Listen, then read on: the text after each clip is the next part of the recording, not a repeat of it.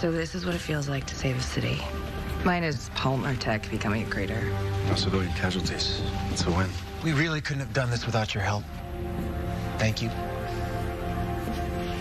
Laurel, thank you.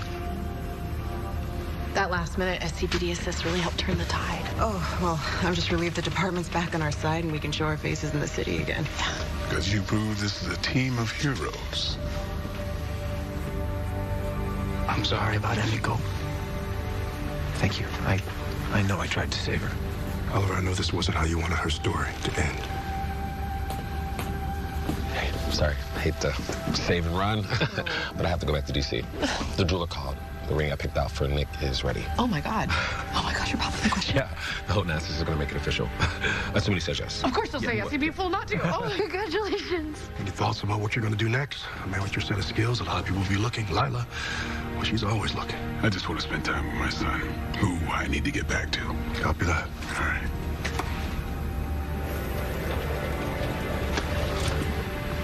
And then there were six. Actually, five. Hmm. I can't stay. You gotta catch up with Theo. There's a lot I still have to figure out. I killed two innocent people. I have to find a way to atone for that. Well, since we're on the subject of goodbyes, we have an announcement too. Mm-hmm. Um, we're stepping back. We're leaving Star City. Not forever, but uh, for now. You just saved a city. You don't want to take a victory lap? I didn't do anything. Our team did. The fact that the city is safe is the reason why we can leave. I spent a long time thinking about my legacy as the Green Arrow.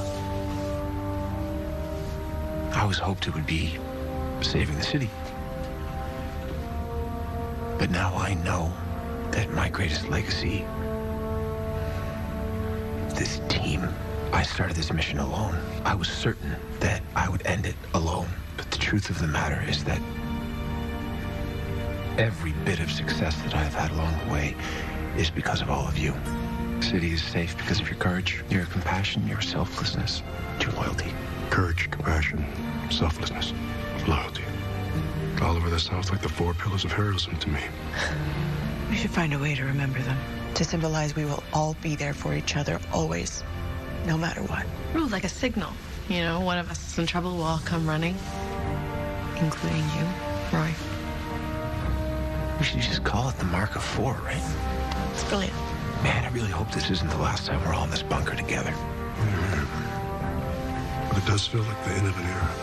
Okay, well, let's just try to think of it as the beginning of a new one.